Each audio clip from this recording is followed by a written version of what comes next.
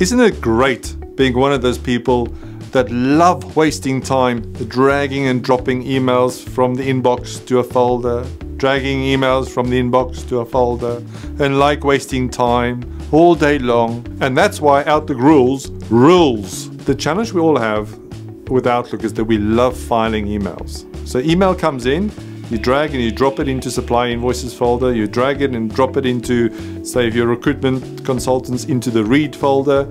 So a lot of your tasks during the day when it comes to email moving is the same over and over and over again. Did you know that with Outlook rules, you can automate this entire procedure? And that way saving you a lot of time. And it's really simple to set up. So imagine you've got an email that comes in from Reed, that's R-E-E-D, and you want to automatically file that into a folder called Reed. All you have to do is click right click on an email that's coming from reed.co.uk and it will say create a new rule.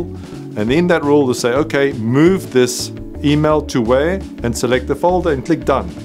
From that moment forward, every email that comes into your inbox from reed.co.uk will automatically be filed into the Reed folder.